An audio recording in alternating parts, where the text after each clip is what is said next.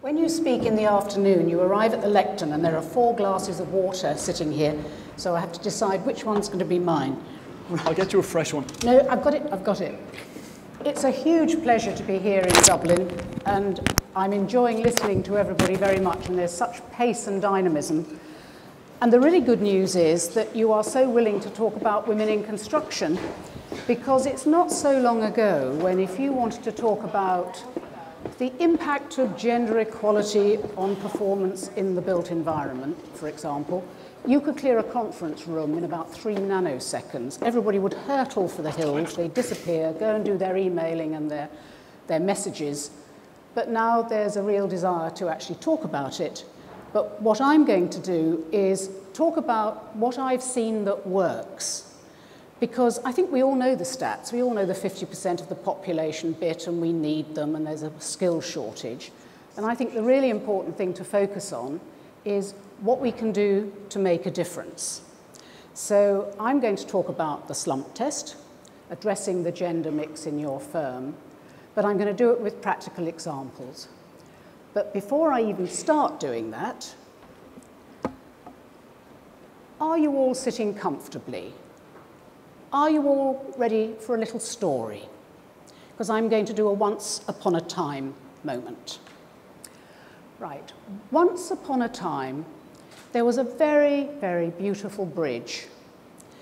This was Waterloo Bridge in London, and it was designed by the very famous engineer John Rennie, and it was painted by the great masters of the day. People wrote poems about it. The day it opened, the great and the good from around the capital all turned up in their carriages and promenaded over it, and it's still said to be the best view in London, if not in England. But something began to go wrong. It began to crumble a bit, and then it was decided to knock down London Bridge and replace it. And the effect of this was that the River Stour worked away at the piers of Waterloo Bridge and it began to crumble. They had to shut it.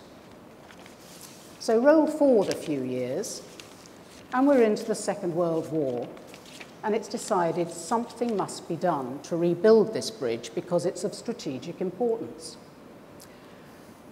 But there were no people to work on it because the Irish workforce disappeared, it was the war, everything changed, they were so desperate to rebuild this bridge, they brought in the good fairies to do it. And there you can see them. They were so desperate, they employed women. And not a lot of people know this, but Waterloo Bridge was rebuilt in the Second World War by a workforce that was 70% female. And they did a very good job. They built it, Nobody knew who they were.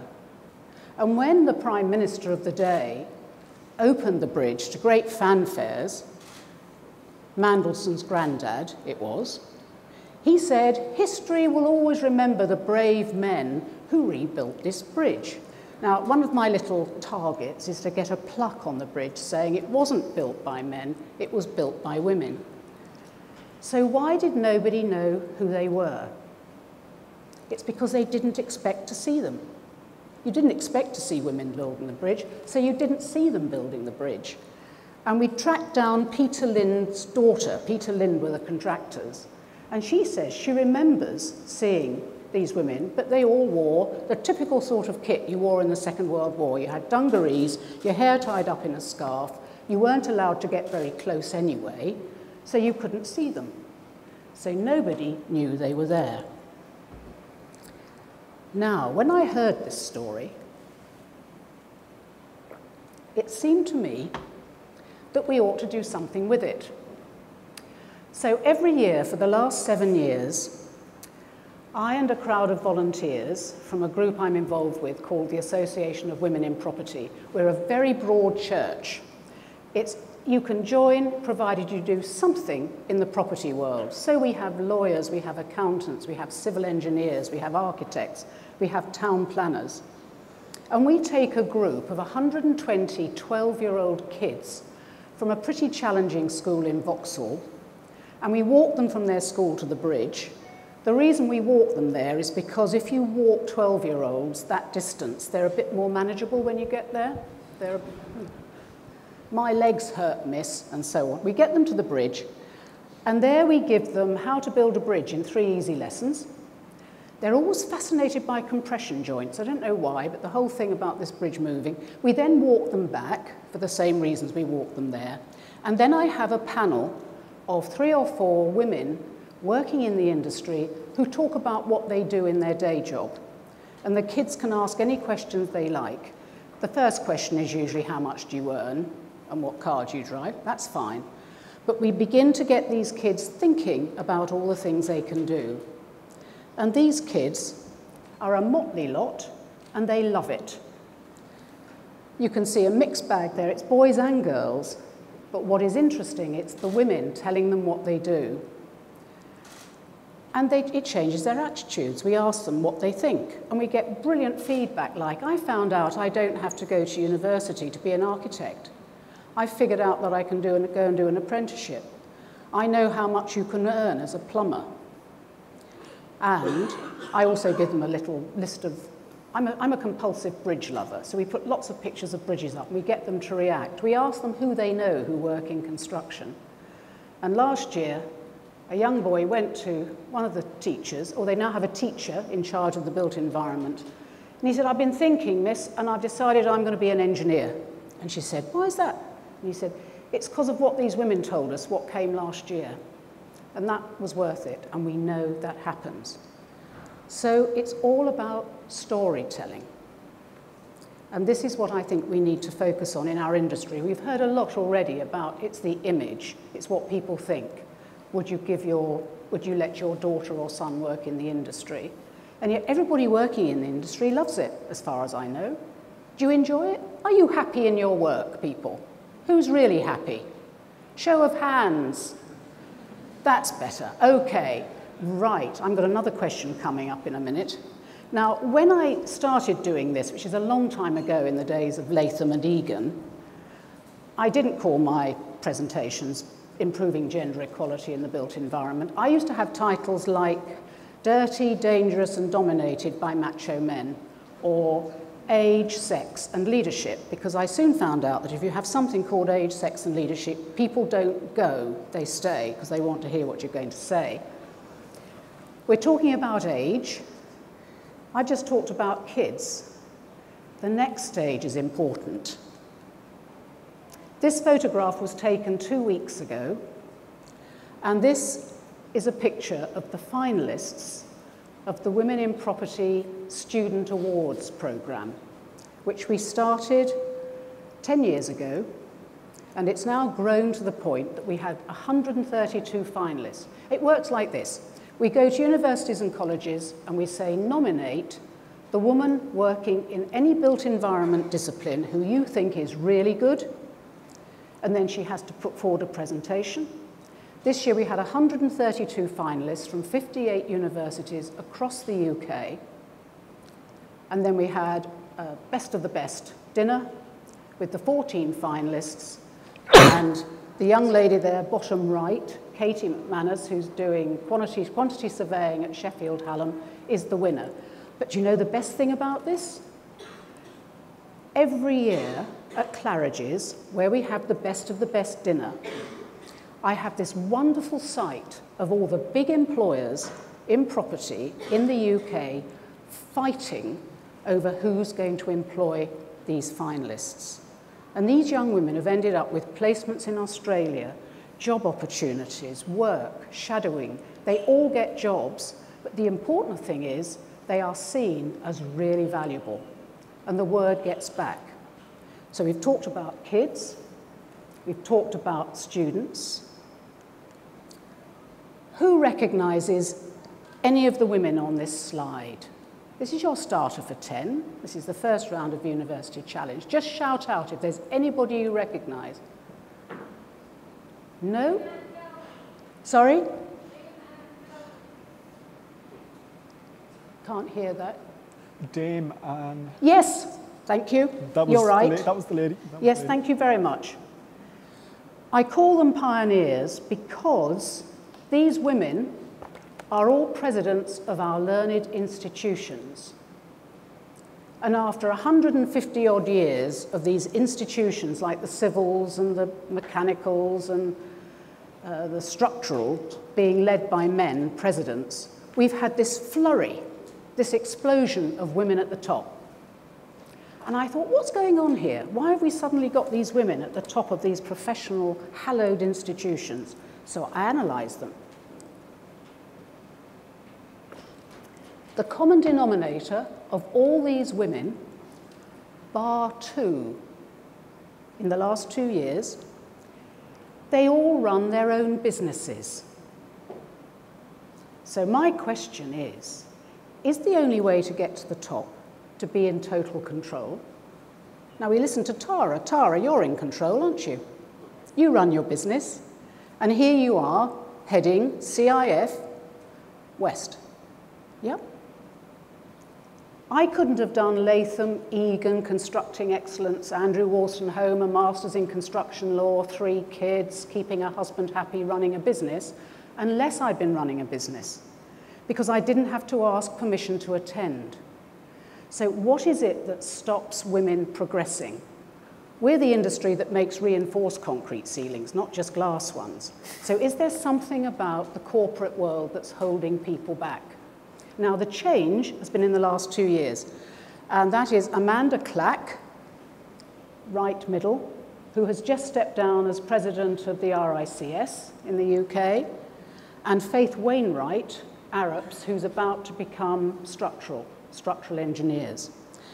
Now, does anybody recognize her? Yes, because she's one of yours, isn't she? Angela Brady, who was president of the RIBA and who studied in Dublin and then went to the UK. So is another question, do you have to leave home to be successful? I'm often at meetings and the women on the platform don't originate from the place we're sitting in. They've come from outside. It's this leaving, leaving to find success. Margaret Conway. Any ideas? First construction manager, female, last year, of my lot. I'm Chartered Institute of Building. Great news. Sad thing is, this year, only one woman put herself forward.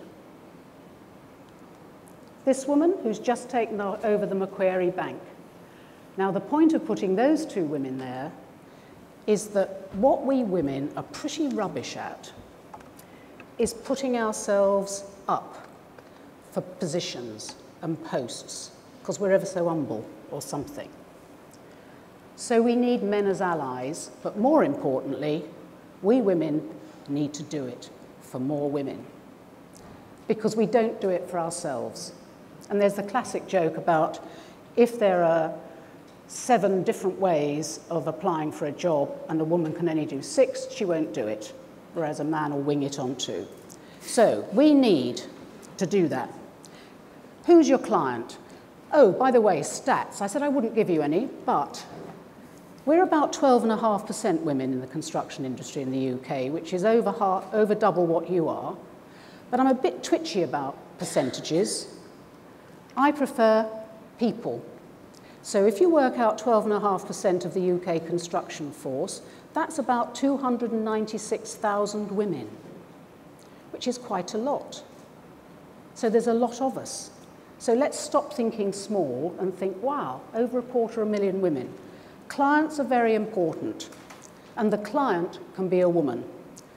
I set up a mentoring scheme when I was on the board of a construction company. We had nobody in the company who could mentor our rising stars, so I asked our clients to. And we had senior women in the, client, in the uh, built environment, property, management, retail, who said, great, we're very happy to mentor your rising star. And we've talked about collaboration, and we've talked about communication, and we've talked about improved delivery. When your mentor says to you, we want to refurbish a high street store on a one-way street and keep trading and be finished by Christmas, the young woman she's mentoring, who is a project manager, can point out in the nicest possible way quite what a challenge that is for the industry to do it, and you begin to get toing and froing on understanding how the industry works. So the mentoring programs I help manage and run match people who are not the same but are operating in the same field. So it might be an architect mentoring a lawyer or a quantity surveyor mentoring an agent. And that way we're going to start improving the communication in the industry. So look to your client. And the clients like to see a team that looks like them. And what is actually happening now in the UK is people who put forward teams that are pale, male and stale are told not even to bother to proceed with their tender because they are not mirroring the client they've come to see. And that's happened twice in the last few weeks. Now, one of the problems with the construction industry is you can't wait to start, and when they start, you can't wait for them to finish.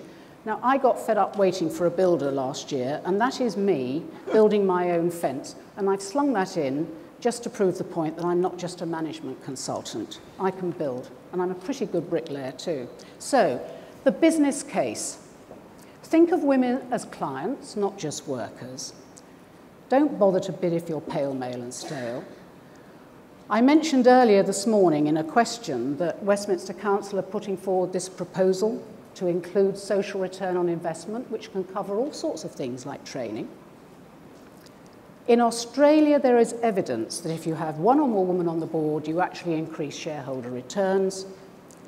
And we know that there is also an increase in performance. So why not do it? It makes business sense. So, some tips. For women, don't get mad, get even. Offer solutions, not problems. When you're trying to negotiate how you're going to change the way you work, rather than demand something to sort out your problem, turn up with the solution. Really, really importantly, never underestimate what you know. It's very easy to get into the mindset that because you know it, everybody must know it. There's value there. So have a bit more confidence. Really importantly, hard facts.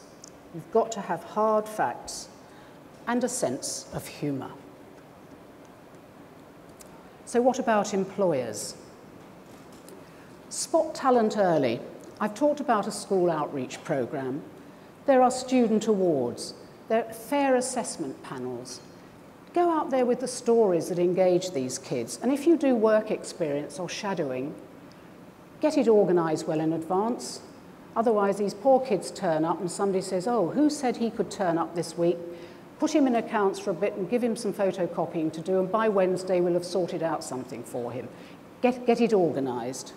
And the other question I was going to ask you all, you seem relatively happy. How many of you in the room have the career you thought you'd have when you were 16? How right, there's only about six hands up. Now, I know you're a lawyer, but are the rest of you architects by any chance? Are there any architects in the room? Are you, did you expect to be an architect? No. So we've all fallen into this industry, haven't we? It's just all happened by some sort of strange mistake. So how are we going to really project why other people come in? So start, start thinking about it. Tell those stories. Really importantly, there's no point going out to primary schools and, and talking to the parents if when you get these people on board, you lose them. So keep, keep them. Keep that talent. Flexible working, agile working. We've heard a lot today about technology.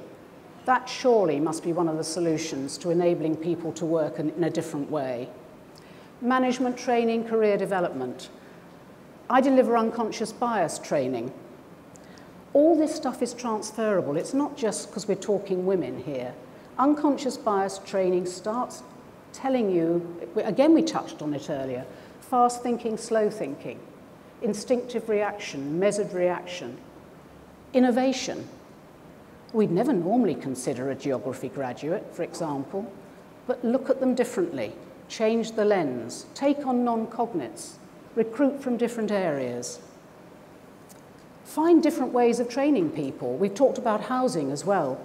About five years ago, I worked with housing associations and registered social landlords and contractors because contractors said, we've got all these tendering re requirements. We've got to show we're contributing to the local community. We've got to show we've got a gender mixed workforce. We can't find them. So we said, well, we'll sit in a room and find out a different way of ticking the box we ended up by offering housing association tenants basic maintenance and DIY training. Because the housing association says their biggest problem was dealing with fiddly little jobs worth 50 quid. The housing contractors said, we can help upskill the, the tenants. The tenants were running, literally running down the street saying they're going to train us to do something. The contractor could tick the diversity box, the Housing Association saved money, and some of these trainees went on to retrain and became quantity surveyors and project managers. So there's some thinking out of the box, and they were all women. We've got people from Durkan here, I think. Durkan were fantastic supporters when we dealt with a catch-22 of women on the tools. We could get women trained to a certain stage, and they couldn't get any further because they needed site experience. And we got in the catch-22 of come back when you're experienced, give me experience, come back when you're experienced.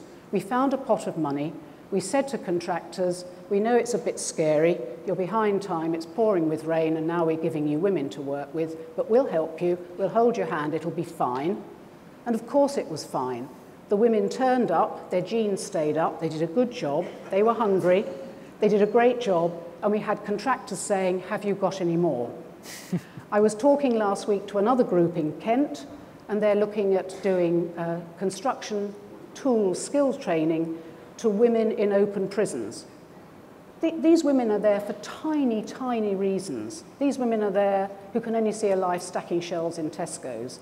And if we can find a way of helping them develop a career. So there are different ways of, of thinking. Find your champions. I've had champions. We can all be champions for other people. Make your boardroom work. I'm a non-exec director. I talk to everybody in the companies I work for. I discovered the receptionist in the London office of the company I was on the board of was a trained CAD technician. Nobody knew because she was recruited to be a receptionist. So we started sending all the work down from the head office in Lincoln because we had too much work up there. She did it. She was upskilled.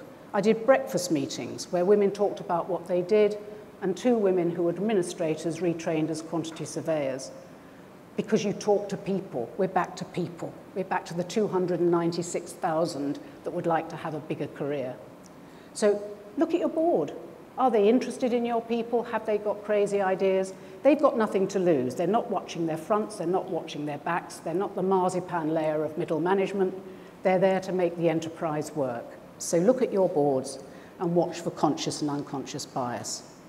So, age, sex and leadership. We're back to the saucy title. Age, engage the young. Recognize the mature. I've got vested interest in saying that now. Keep and value the ones you've got Sex, watch the language, and I don't mean the saucy language, I think we've dealt with that. Figure out what we really mean about quotas and targets. There is a difference. We have to have a target. If you don't have a target, you don't know how you're doing. Manage the elephant in the room. Has anybody been to MIPIM? Do you, do you suffer the agonies of MIPIM? This year they had people wandering around with pink elephants, so if there was any trouble with the infamous bad behaviour at MIPIM, there was somewhere a woman could go and say, would you mind taking me back to my hotel? Uh, the President's Club has had a tremendous difference. And I think there's another change, which is more men have got wives who are not trophy wives. They're women with their own careers. And more men have got daughters who say, were you at the President's Club, Daddy? Do they really do that and are they really hookers? So I think there is a social change that's going on. And we need leadership. We need leadership in the industry. We need leadership so we can communicate with the policymakers, with the politicians, and actually have an identity as an industry, because that's how we're going to make a difference. So I enjoyed meeting Sarah earlier, who I understand does the same as me, which is phone up and say, why don't you have any speakers on your panel? I must congratulate you on this event. You had women speakers on the panel and you've got women on the floor. Fantastic. Keep on asking.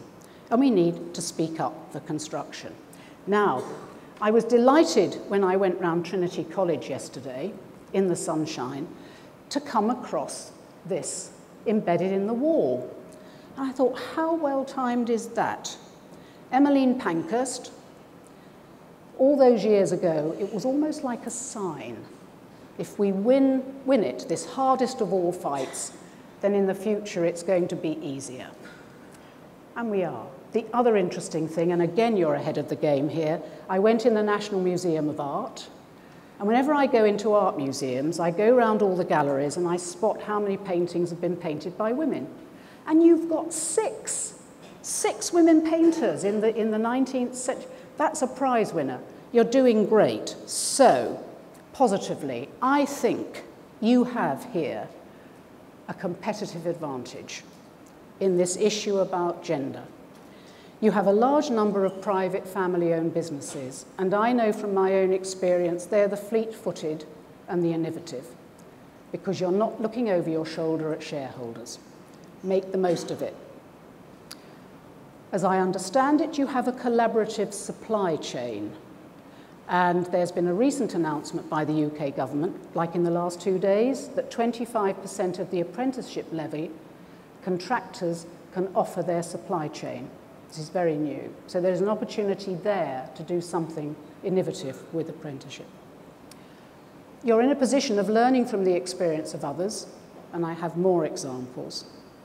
You've got a huge construction investment and therefore a huge need. And we're in Dublin, we're in Ireland. If you can't tell the stories, nobody can. So you've got a lot going for you to make a difference when it comes to women in construction. Now, we started with kids, and we're going to end with kids. And this is the tip for the brilliant video that CIF made this year. Thank you for attention.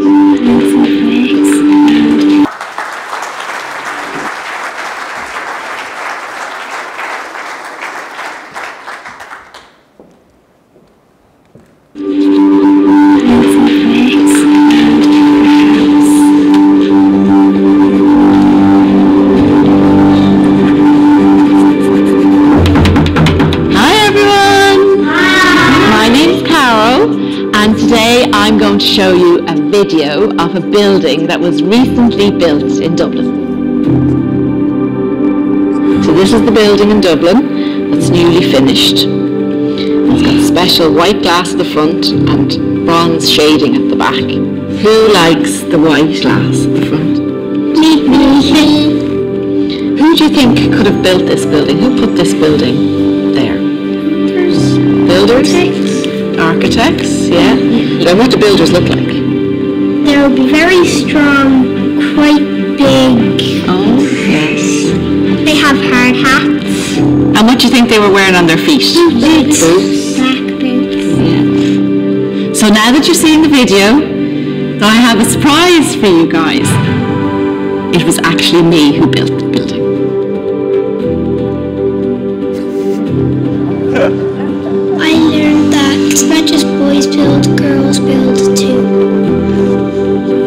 Favorite part was the stairs. I was surprised because there's not that many girl builders, but uh, girls can do building as well. So hands up who'd like to be a builder.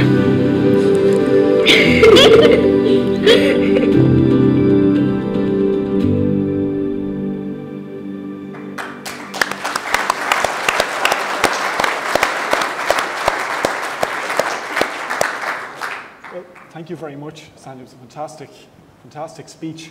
You said there, tell, tell their stories. Tell yours. Did you, you asked everyone to put up their hand and say, are they where they expected to be? Where did you expect to be?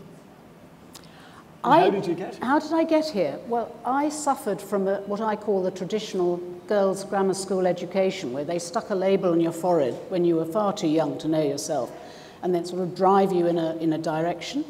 And they told me I was going to study classics. And I said, what do you do with classics? And they said, well, you learn classics and then you go to university and you learn more classics and then you go back to school and you teach classics, which struck me as being a sort of fairly sterile closed loop. And, and I, I didn't then know that you could do a degree and go and do something else with a degree. But I loved building things. My father was an engineer, my brother's an engineer, and my father taught me to saw and cut wood and build things and paint and decorate. I can hang wallpaper. I can, I'm a pretty good plumber's mate. And I loved it, but I couldn't see how that worked for a job. And so I became a civil servant, which was hell on wheels. And it took me about a year to escape. And I went to London and joined what was then the biggest advertising agency in the world, J. Walter Thompson, which was very exciting. And then I was offered a job on Construction News. It was sheer luck, just one of those extraordinary meetings, and it was my eureka moment. And they were a great team, and the job I was taken on to do, I was doing two days a week, that somebody had done five days a week. So they said, oh, the other three days we'll teach you to do news, features, layout. And one of the things I wish I'd known was how to make better use of networks because I look back and I was very young and I was getting through the doors of people like John Laing. And I just thought, oh, this is cool. I'm talking to John Laing and I'll write an article. And I didn't make the most of it. And I think that's something really important to recognize the connections you make. And, and that really was the turning point. And then I, we, I had a house and we, I did a lot of work on the house, but I became fascinated with the process. I think construction and civil engineering is miraculous. It sounds a, naive and a bit childlike, no, but, but I think it's the creation of something out yeah, of nothing. Exactly. And, and how you see this muddy site, and, and somehow it works. Maybe it takes a bit longer to make it work, but it works. And I think bridges are extraordinary structures. I think this is an extraordinary structure. I sat out eating my lunch overlooking the stadium. I was hoping maybe a match would start, but never mind. Um, it's extraordinary that it works. And I think that's one of the things that we're not very good at. We're just so glad to get the job done, we move on. Yeah. And I think it's an extraordinary industry. And I'm only really happy with the smell of damp cement, really. I'm a bit compulsive. Let's do another project. I was really interested with what you said about there's an expectation among certain clients now that there will be a, a myriad views going into a pitch, that you can't just be everyone in their 50s, male yes. and stale and pale, as you put it. I mean, that really is probably whatever you can talk about quotas and all of that sort of thing. But if the client wants a real diverse pitch, that's going to drive change much faster than anything else because it feeds down to the bottom line. Yes, the, cli the client drives it all, but I think picking up one of the comments earlier, which is a sort of classic definition of marketing, if we were going to, going to be a really good industry, we shouldn't wait for the client to ask us. You know, shouldn't wait till you get back twice saying, wow, we, we loused that up, didn't we? We better find, uh, is there a woman around who might do the job? I think that thinking about how you can give those diverse views, but also very importantly, make sure that everybody has a voice at the meeting um, I know when I used to um, interview teams for work, nothing was more frustrating than have maybe a group of four people and only two spoke. You know, if, if somebody's gone to a meeting, make sure everybody speaks. I wish they would have spoken. They've been so quiet. well, it's a, it's a long room. But I think we shouldn't, we shouldn't wait for clients, and I think we should look. And we're all clients. We're all customers. I mean, one of the reasons for putting that silly slide of me up with a coolie hat building the fence because the guy didn't turn up is because we are all customers. And, oh, that's the other thing I'd like to pick up with. Much talk of the car industry, and we've had this ever since um, Sir John Egan took over from Michael Latham and looked at improving the industry. There's this obsession that somehow the automotive industry is better. Well, I've been looking to buy a new car, and I can tell you now, their customer care and marketing is rubbish. So I think we must keep confidence and just keep saying, how are we going to do this better? How are we going to communicate? How are we really going to find out? Like the housing issue, what is it that people not only want, but we know they need? and who are the best people. And, oh, and also clients. I mentioned Durkan, who, who were very proactive in our training scheme. What Durkan realised was that many of their customers in their housing pools were of a culture who would not let in a man to do work. So they had a business driver for having female maintenance teams. It makes, it makes business sense. That's the customer relationship. Or it's older people who would rather have somebody of a different type. And, and finally, you spoke about unconscious bias. Hmm. How big an issue do you think it is out there at the moment? I think it is a big issue, and we've all got it. I've got it. Oops, I forget, I'm all wired up here. Um, I suffer from unconscious bias. Uh, it's, it's partly intuitive. We're all wired to wonder who, who those people are coming over the hills with spiky things and are they good or bad. So there is a, an intuitive, instinctive reaction to fast thinking. But I can make assumptions about a, a particular type of person, maybe the way they speak or the way they dress, and you find you slip in to this. And I talked about transferable skills um, I ran a, an unconscious bias session in Leeds with a group of senior managers from the property world. And I do it with a stand up comedian who trained with John Bishop and is a neuroscientist and is very easy on the eye, if that's not too politically incorrect. So it's a very jolly training session. And one senior partner came up to me afterwards and said, I think I know what you know what you mean now about unconscious bias. He said, I've got a really difficult job at the moment. I have a very difficult client. It all keeps going wrong. And I got an email from this guy that made me really angry. And fortunately, I didn't do anything about it. The next morning, I printed out the email and I gave it to my colleague. And I slung it on the desk and I said, What do you think of that then? He said, My colleague picked it up, he looked at it, and he said, Oh, that's interesting. Oh, he's made a good point there. Oh, right, we're good to go then. And he said, I realised I'd reacted to that email with all my unconscious bias about what I felt personally about this guy, which completely distorted a perfectly reasonable mm. commercial interaction.